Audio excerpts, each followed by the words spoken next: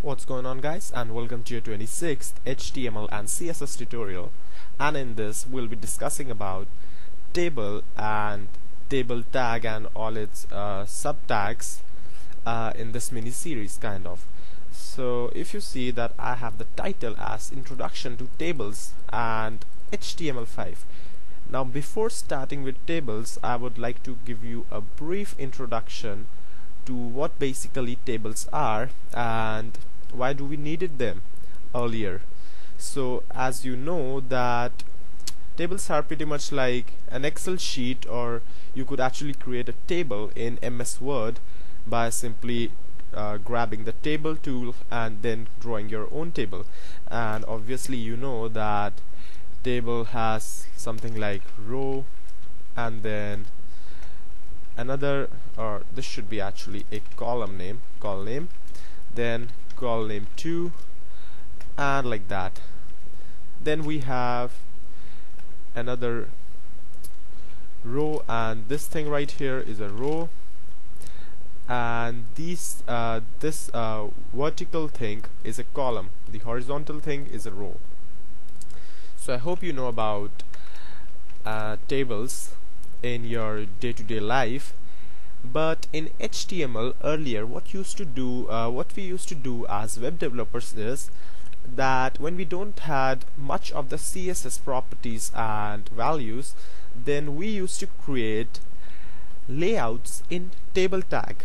Now by that what I mean is in HTML we could actually customize the width of any column or row inside table tag. So for example if I want that this should be my logo section and then this should be my advertisement section and that's it. And I say that this uh, these two should be empty uh, for the spacing.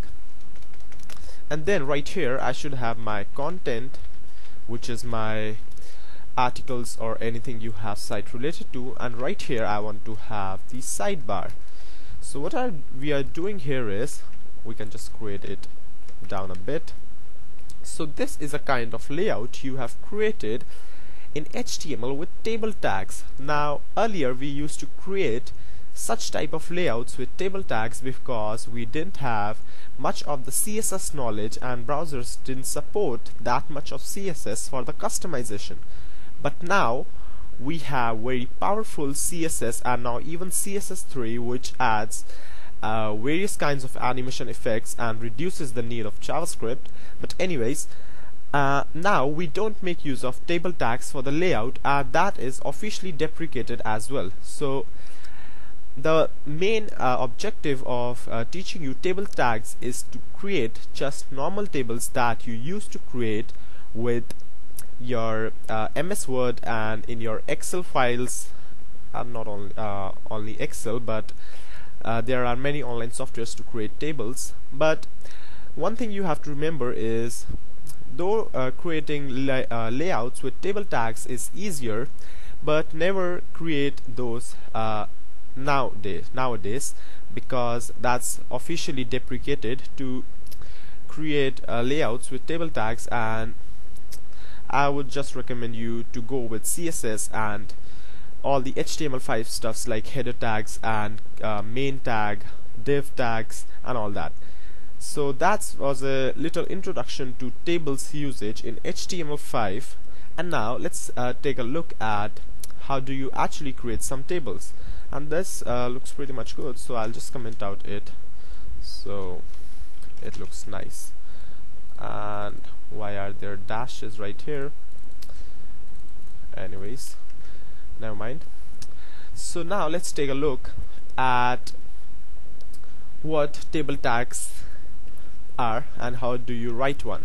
So to start with a table what we need to do is write a opening table tag which is like this and a closing table tag and it's a container tag so so it should be opened and closed. So inside this now we have got a top container layer for the table to be created. Now first of all let's say I just want to create one row and one column in the table. So to create a row in table we have the tag tr now tr tr tag right here signifies that a row is started. And obviously this would be a container tag because we want to tell the browser where our row is ending. And now we have created a row inside a table tag. So now let's say I want to give some data inside this. And I say let's td and I would say data1 and I will just close td and I would give another td and I would say data2 and I'll just close that. So here's my HTML document and when I reload this I get data1 and data2 as the output.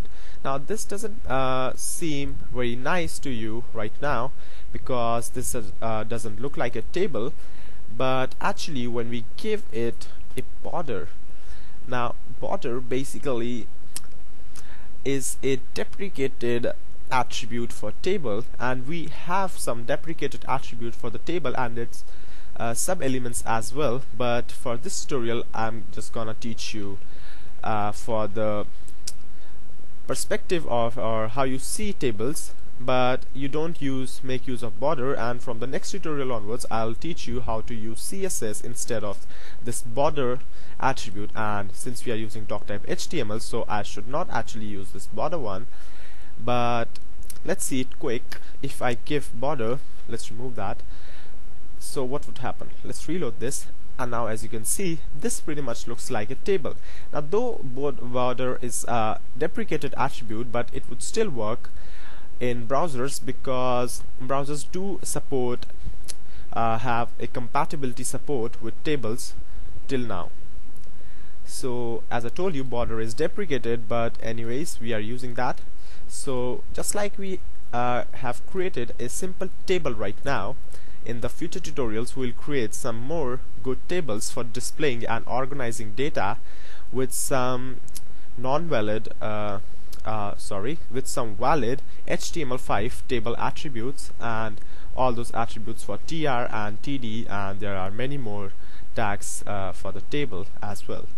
So thank you for watching and don't forget to subscribe and I'll see you then next time